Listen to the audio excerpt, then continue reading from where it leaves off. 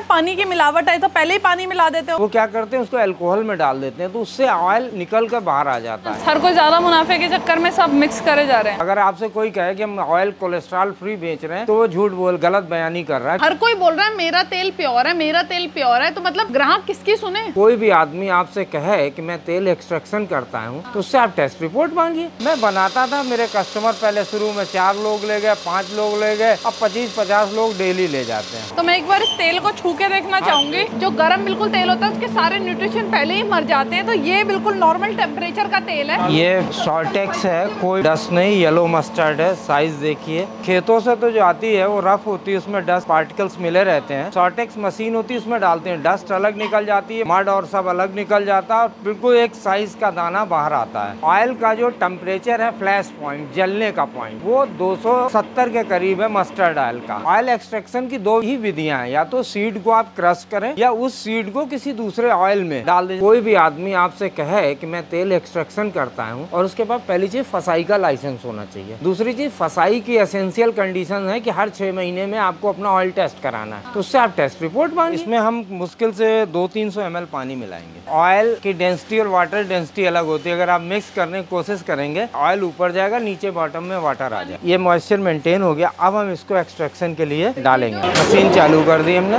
Bucket से हम डालेंगे फीडर पे। फीडर में देख रहे हैं ऊपर एक गियर घूम रहा। है ये प्रेस करेगा मस्टर्ड को। पहले चैम्बर में केवल इसकी क्रशिंग होगी। उसके बाद ये आगे जाएगी। तो आगे इसकी क्रशिंग जो बहुत फाइन गैप रहता है। वरम कहते हैं और खल बाहर आए ये कोल्ड प्रेस है कि कोल्ड कंडीशन में हमने डाला और लगभग कोल्ड कंडीशन में आ रहा। और दूसरी चीज़ ये कि ये मशीन और ऑर्डनरली जो मशीनें बनती हैं उनमें बड़ा फ़र्क है। आप हमारे आयल में ऐसे फिंगर रखकर खड़े रह सकती हैं घंटों। आपको गर्म नहीं लगेगा। तो मैं एक बार इस तेल को छू के देखना चाहूँगी।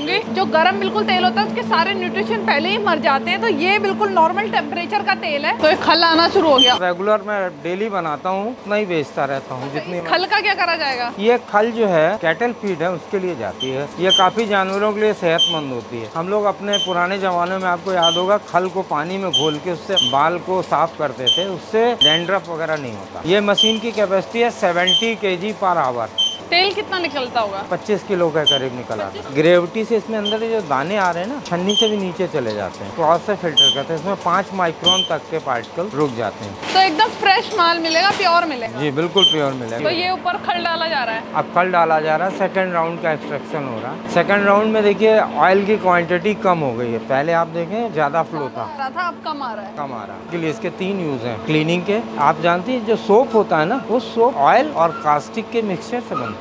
फल में अगर मैं पानी में घोल कर कास्टिक डाल दूँ तो आपको साबुन बन जाएगा। साबुन बन जाएगा। वाह भाई वाह। क्योंकि आजकल वही हो रहा है ना हर कोई ज़्यादा मुनाफे के चक्कर में सब मिक्स करे जा रहे हैं। टेक्नोलॉजी ने और इसको वो कर दिया ना मज़बूत। अब आप मिलावट बेहर आँखों से पकड़ नहीं सकते तो भाई ये देखो ये खल को यहाँ पे पलटा जा रहा है। तो भाई यहाँ पे देख सकते हो कितनी बढ़िया क्वालिटी से ये जो चमकीला आपको दिख रहा है ना इसमें थोड़ा थोड़ा ऑयल रहता है। इसको एक बार और करते हैं ना सिर्फ़ दो बार निकाला जाता है और मशीन इतनी मज़ेदार है कि दो बार में ही पूरा ऑयल निकाल देती है। इसका कलर ऐसा क्यों है? ये अभी पूरी तरह से फिल्टर्ड नहीं है ना। बीच में पार्टिकल्स है ना तो जिस वजह से आपको लग रहा है। ये बकेट में सेटल्ड ऑयल है ट्रांसफ़र कर रहे हैं टेम्परेरी स्टोरेज में। ये हमारा पंप लगा हुआ है। ये टैंक से ऑयल को प्रेशर के ऑयल को इसमें डालता है। फ़िल्टर में। तो, तो इसमें ऑलरेडी काफ़ी सारा रहता है। तो वही आ रहा है अभी ये जा रहा है प्रेशर से ऑयल जा रहा है। पाँचों कपड़ों का क्या काम रहेगा? ये मैडम डबल क्लॉथ लगा होता है एक कॉटन होता है एक नायलॉन होता है। ये स्पेशल कपड़े होते हैं। देखिए ऑयल आने लगा। ये एयर बबल्स है।